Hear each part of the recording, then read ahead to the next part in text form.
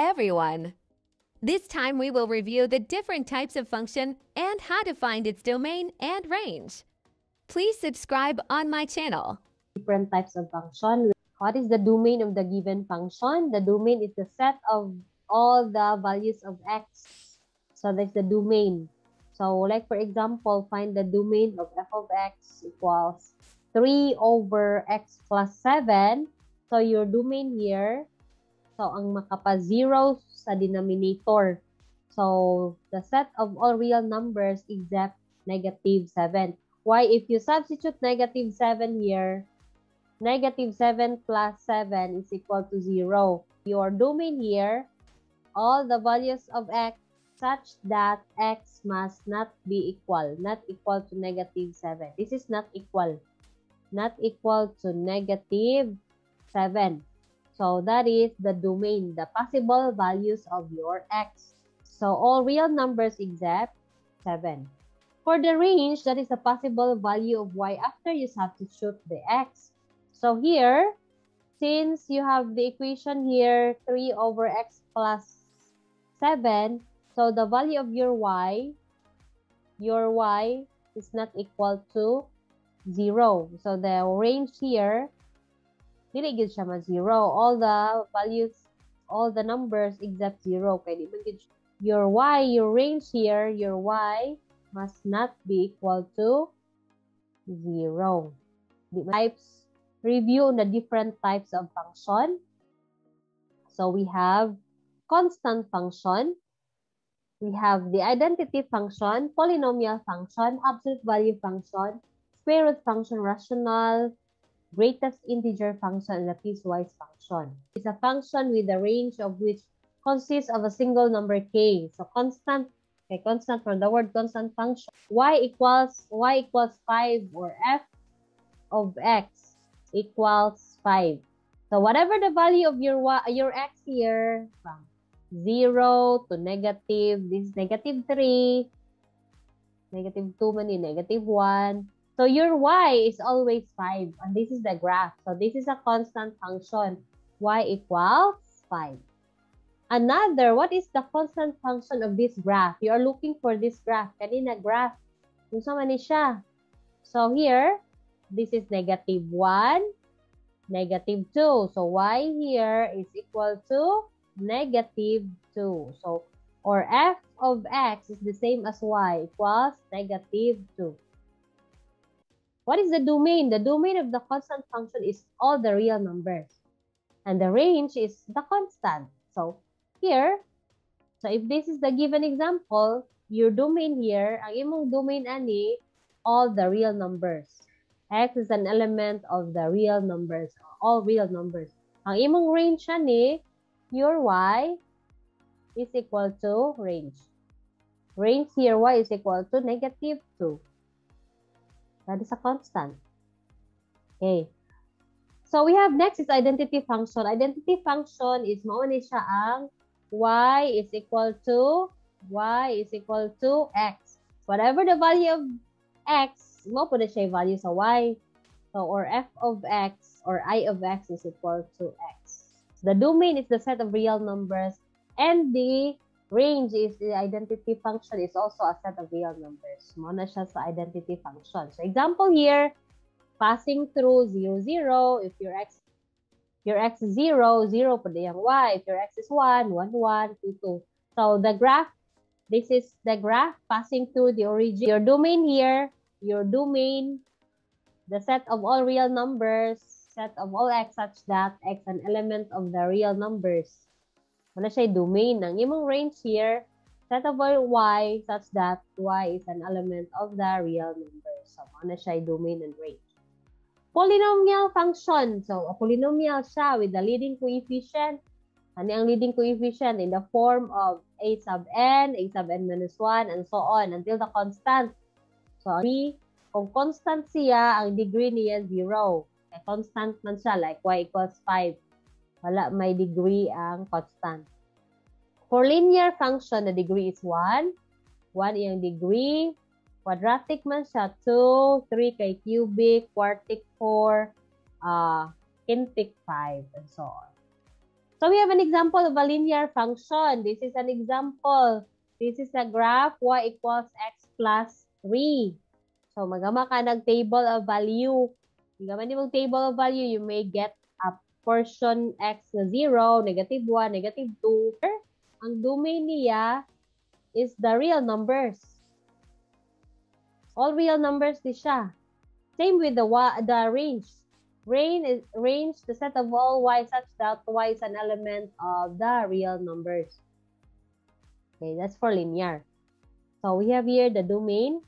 Mana na siyang domain niya? All real numbers. And the range is all real numbers. Ayun na na siya linear. The quadratic, remember, quadratic, you have y equals x squared. When you squared 0, di ba? 0. When you squared 1, 1 po na siya. When you squared 0 squared, 0. 1 squared, 1. 2 squared, it's 4. Same with negative. Negative 0 squared, 0. Negative 1 squared is positive. Negative 2 squared, positive 4. So that's why wala iya mo siya negative y nga value from 0, 0.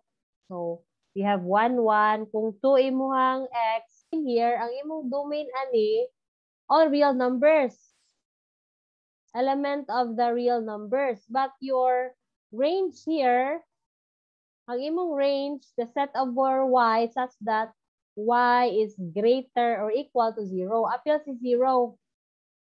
Okay, here. Okay.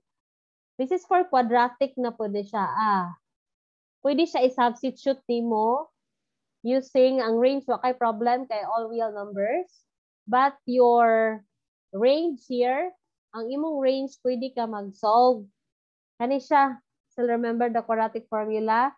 This is 4, 4ac minus b squared over 4a. Mo ni siya ang uh, equation. Remember, if you have a quadratic, uh, i greater equal to k. So, y is equal to greater equal to 4. Pila may a ni mo? Kani a. 4 ac minus b squared over 2a. Ato sa lait sa 4a. So, y is greater equal to 4. Pila a? A ni mo ani 4.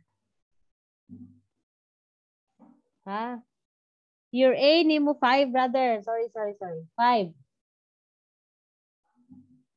Okay. So, 5. Darang A, oh. O man siya. ax squared plus bx plus c. Wala tay x nga variable sa 0 ra mo ha. Ah, sorry, sorry. Ako ang writing pad. Okay. 4 times 5, a ang 5. Ang b ni mo wala. Ah. B, AC man dahil. Dili man siya B. 4 AC. Your C here. Mani siyang C. This is your C. Wala kay B. So, 4 times 2 minus b squared, 0 squared, over, sorry, 4a. Mauta ko agir. 4 times 5. Your a here, a equals 5. Your c is equal to 2. Wala kay b, 0. Okay? So, y is greater equal to, pila man 20 times 2, 40. Diba? 40. 40, wala na ng 0. 40 over 20. So, y is greater equal to 2. Mo na siya imong domain. You need to solve. So, ang imong domain rather is the set of all real numbers of the real numbers. But your range here, ang imong range set of all y such that y is greater or equal to positive 2. Up is the cubic for cube, remember, when you cube negative 1, negative 1 multiply 3 times, negative 1 siya na siya. Negative 2, imong i-cube, negative 8 po na siya. So, that's why we have here. Negative 1, negative 2, negative 8. So, na siya part sa graph which is in the negative negative value of your y. The positive. So, man siyang example of a cubic. Cubic is part of the polynomial. Ang imong domain o range ani, what is the range here such that x is a uh, y, y. y is an element of the real numbers. Okay, next, absolute value function. Remember, ang absolute value is always positive. Kay distance na siya from 0 to any number in the number line. From 0 to positive 3, 3 units po. So that's why the absolute value is always positive. Kay distance na siya from 0 to any number in the number line. So the domain here is all real numbers here. And the range na negative. So including 0. From 0 to positive infinity. So here is an example. Mali siya example. Uh, absolute value is always positive. Absolute value is 0, 0. 1, negative 1, positive 1. So, yung graph is open, going up. More siyang V. So, ang domain here is the real numbers. Ang range niya, f of x or y is greater or equal to 0. Gikan ni 0 from 0 to positive infinity. Okay, graph in one Cartesian plane of an absolute value. So here's the graph. If you have like this, na absolute value na i plus a inside the absolute value sign, i-shift down ang graph a units to the left.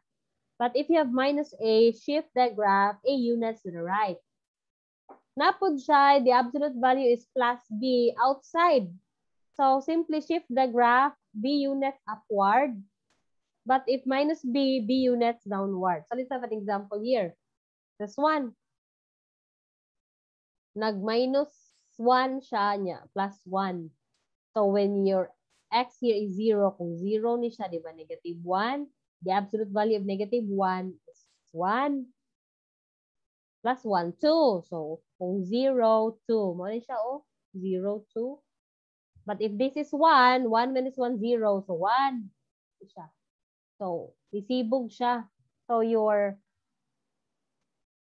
domain is the set of real numbers and your range is from negative 1 greater than or equal to negative 1. Another example here, naman siya negative, negative of x minus 2, absolute value minus 2. So, if your x here is 0, naman na siya. So, mahimo ni siya negative 3 absolute value. But na pa may negative outside. So, negative 3 minus 2, negative 5. So, here, negative 3, negative 5. So, asa naman? Hani, kung 0 imong x, negative 5 imong y, this point. Okay, so iyang graph ani, here is the graph, and then your domain is the set of real numbers. Ang imong range y is less than or equal to negative 2. Okay, na function, remember there's no square for a negative number, so that's why mo ni siya domain greater or equal to 0 and your range is greater or equal to 0. That is for y. So that is for square root. We have the square root of the square root of x minus 3. So x must be greater or equal to 3. Mo ni ang domain. Diba? Kay there's, if this is 1, 1 minus 3 is negative 2 man siya. There's still square root of a negative 2. Is the square root greater, less than or equal to the square root of 9. Plus minus, less than or equal to plus minus 3. Okay, ka square root sa 9 kay plus minus 3. Okay? But for y here, ang imong y greater or equal to 0. Okay, next. Rational. Uh, okay na ni si rational. Ang makapa-0 lang sa denominator. So if this is 1 over 5, your x, domain mo must not be equal to, so yung makapa-0 niya, 0. Diba? Kung 0, x must not be equal to 0 here. So, ano na siya? Na siya minus niya. Your x must not be equal to 5. The range here, f of x must not be equal to 0. Ang makapa-0 sa denominator, that is for rational. Function, an integer function less than or equal to the given number. So first of all, you are looking for only for an integer and that integer must be less than or equal to the given number. So here, na siya bracket. You want the greatest one. Isod siya sa bracket. So, for example, the greatest integer function 1.97 is equal to 1. So, there are many integers less than 1.97 we have 1, 0, negative 1, and so on, negative 4. Of all of them, 1 is the greatest. Daghan siya less than ba? Si 1 may pinaka dako sa mga less than. Moral boundary sa upper and lower bound. So like negative 1.97, negative 2. There, there, there are many integers less than what, negative 1.97. So of all of them, negative 2 is the greatest greatest integer kani siya. Na siya 1.9999 but not exactly 2. Doon lang siya ni 2. Mo nang open 2. But appeal si 1. Including 1. So, na na broken good ang dili siya continuous not continuous ang graph here kay like kani from 0 to 1 So, it can be 0.999.